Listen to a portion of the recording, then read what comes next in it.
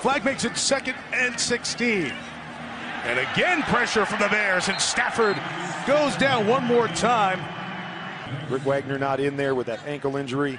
You see the pressure.